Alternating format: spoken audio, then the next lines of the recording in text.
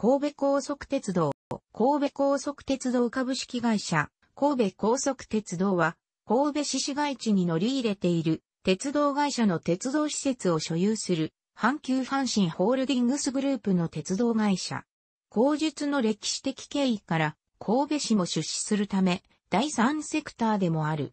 兵庫県神戸市中央区多門2に本社がある。季節の民間の鉄道資産を活用した交通インフラの改良を行ってきた。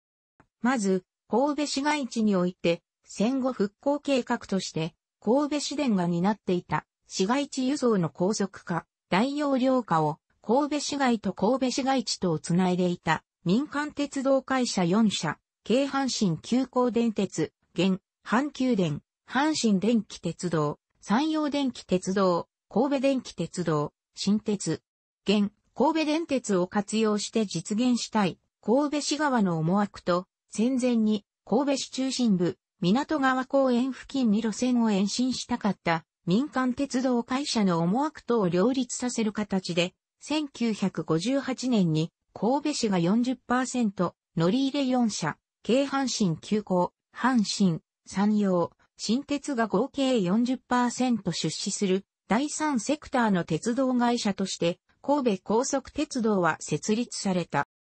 1968年に東西線、南北線が完成し、鉄道事業を開始した。線路と駅のみを保有、自社経営し、車両は自社所有せずに京阪神急行、阪神、山陽、新鉄から乗り入れてきた車両を乗務員もそのま、通行させるという、当時珍しいスタイルの鉄道会社であり、かつ、線区の大半がトンネルでもあることから、トンネル会社と呼ばれることもあった。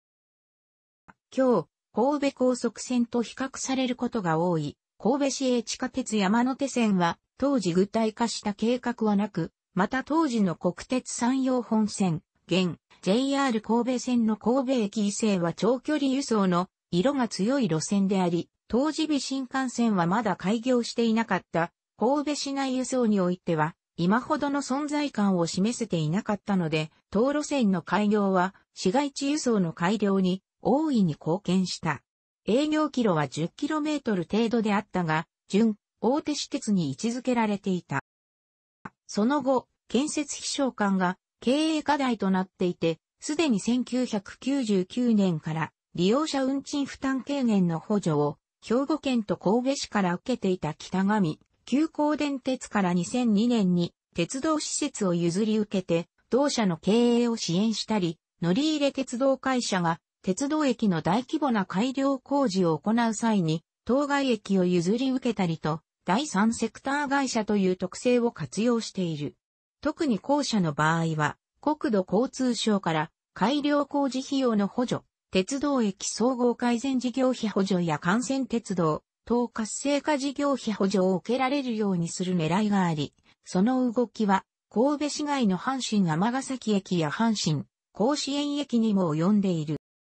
自社で建設した東西線や南北線についても開業から年月を経て、改良の必要が生じるようになったが、全区間において、その後開業した神戸市営地下鉄が競合するようになり、その事業主である神戸市が神戸高速鉄道の発行済み株式の4割を保有していた状況では、神戸高速鉄道自体が主体的にサービスを改善するのは費用面で難しく、乗り入れ4社の提供するダイヤによる収益拡大やバリアフリー化に合わせて駅の改良工事を行うことで補助金を有効活用したサービス改善。具体的には、オストメイト対応トイレの設置に合わせてトイレ全体のリニューアルを行うことができた高速神戸駅など工夫ある取り組みを見せていた。この状況下に折しも2006年10月1日に阪急、阪神経営統合で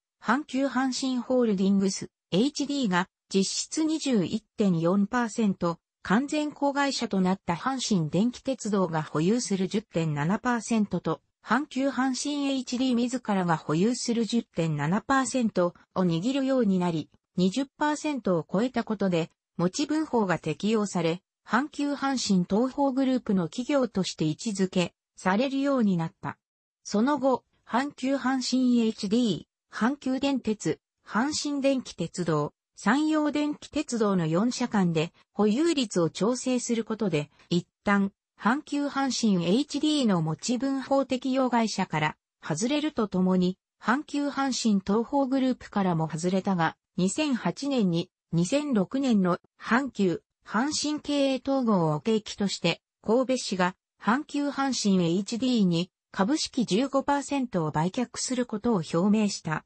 売却は2009年4月1日付で実施され、阪急阪神 HD 参加の阪急電鉄と阪神電気鉄道が保有する株式、間接保有分も含めて筆頭株主となり、神戸高速鉄道は子会社ともども阪急阪神 HD グループの一員になった。神戸高速鉄道は1988年4月、鉄道事業法施行により、第三種鉄道事業者となった後も、第二種鉄道事業者から施設の保守管理や運行管理、駅業務の委託を受けるなど収入費用の計上方法は変わったもの、従来と実質的にほぼ同じ神戸高速線の経営リスクを有する運営体制を続けてきたが、輸送人員の減少、阪神、淡路大震災による長期の休業等で収入が減少する中、震災復旧や安全対策費用の増加により、収支はさらに悪化することとなった。このような中、経営改善を行うため、2010年10月から資産の保有と借入金の返済に特化した事業体制となり、以降は定額の鉄道線路使用料を収受し、これにより、鉄道資産の減価償却費、借入金の支払い利息等の経費を賄い、借入金の償還等を行っている。なお、神戸高速線は2010年10月に策定した40年間の長期収支計画、国土交通省認可に基づいて、第二種鉄道事業者から定額の線路使用料を収受しており、同計画では支出の大部分を占める原価償却費及び支払い利息の前減に伴い、平成33年度、2021年度には単年度収支がプラスに転じ、平成61年度、2049年度には約29億円の繰越利益が見込まれいる。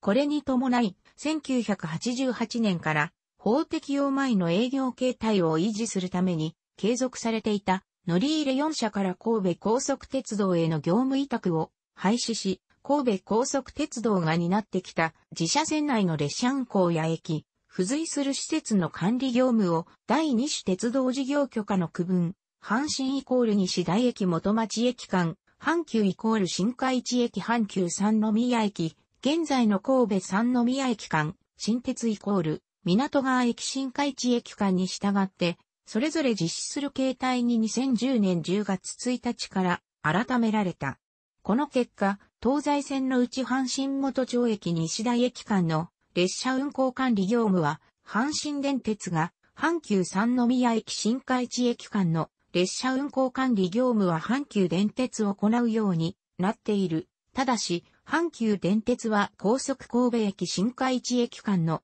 列車運行管理業務を阪神電鉄に委託。また、駅運営管理については、西本町駅高速長田駅間各駅の業務を阪神電鉄が、花熊駅の業務を阪急電鉄が行うようになり、駅の看板も阪神、阪急それぞれの仕様に交換された。新海地駅の新鉄のリバは、新鉄仕様に交換されたものと従来のものとが混在、路線の名称も西大駅元町駅間が、阪神神戸高速線、新海地駅阪急三宮間が、阪急神戸高速線、港川駅新海地駅間が、新鉄神戸高速線となっている。列車運行や駅運営などの管理業務を行ってきた神戸高速鉄道の従業員は同日付で HRS 阪急レールウェイサービスへ転籍した上で阪急、阪神、新海地駅のみ、新鉄もから委託を受けて従前様の業務に従事している。その後、HRS への委託から阪神電鉄の直営に変更され、転籍した従業員は HRS から阪神電鉄へ出向となっている。したがって、現在では、神戸高速鉄道は、阪神南波線における西大阪高速鉄道や JR 東西線における関西高速鉄道と同様の会社となっているが、阪急、阪神、新鉄は神戸高速線の運賃について自社の他路線とは切り離し独立した運賃体系をとっており、するっと関西でカードに印字される符号も KK のままであるとともに、ピタパやアイコカをはじめとした交通系全国相互利用 IC 乗車カードにおける印字も神高や神戸高速となっている。かつて神戸高速鉄道の路線として営業がなされていた名残である。以下は鉄道駅総合改善事業により施設を保有している駅。神戸高速鉄道の子会社が経営していた飲食店が3つあった。高速そばは神戸高速工業、喫茶ラピットと喫茶モネは神戸高速サービスの経営であったが、2010年10月1日に駅売店とともに阪神ステーションネットに譲渡され、現在は2014年4月1日に同社の駅中事業を分割承継した駅、リテールサービス阪急阪神が運営に当たっている。地下街のメトロ神戸は神戸高速工業が運営している。神戸高速鉄道は設立の主目的こそ、私鉄4社の連絡であったが、市電の高速鉄道への置き換えも兼ねており、東西線は兵庫駅前神戸駅前間の置き換え、山陽電気鉄道の併用軌道区間代替を含む南北線は新海地港川公園間の置き換えという面もあり、神戸市が経営に積極的に関与する理由となっていた。ちなみに、市営地下鉄山手線は市電上沢線、山手線石屋川線、一部区間の置き換え、市営地下鉄海岸線は、市電板宿線、高松線、栄町線の置き換えという扱いになっている。なお、神戸市営地下鉄の条例上での正式名称は、神戸市高速鉄道であり、神戸市高速鉄道上車両条例などにその名称が見られる。楽しくご覧になりましたら、購読と良いです。クリックしてください。